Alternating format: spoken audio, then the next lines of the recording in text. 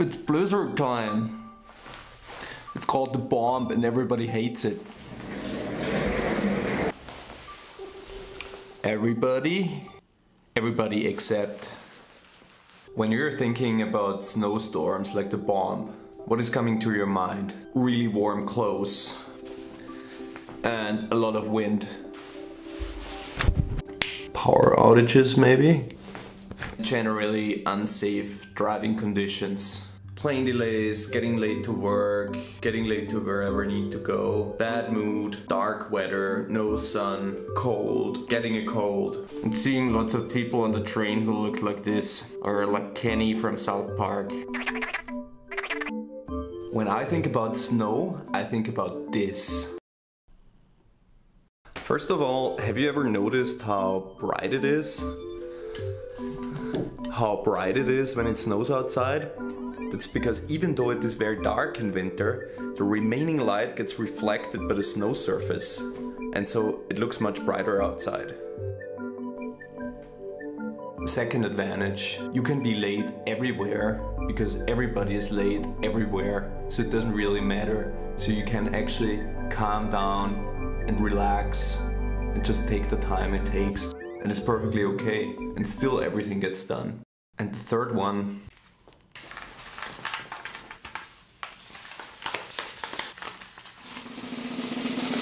I love skiing.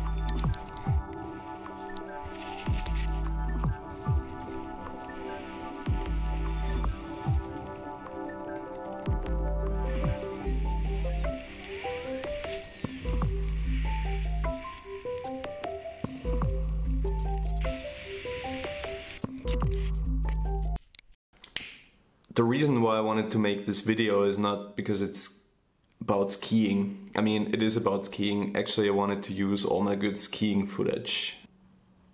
This flame is weird. The reason why I made this video is I think sometimes it just makes sense to take us out of our habits and a snowstorm is a pretty, pretty cool thing. So think about a power outage lighting up a few candles and reading a book or playing a board game with your family can be actually a lot of fun. And it's also about trying to make the best out of any situation. It sounds easy and everybody talks about it, but a little snowstorm can spoil your day or make it better if you think about it. So I think what a blizzard, snowstorm, polar vortex can teach us how we can make the best out of any situation. That's what I wanted to say.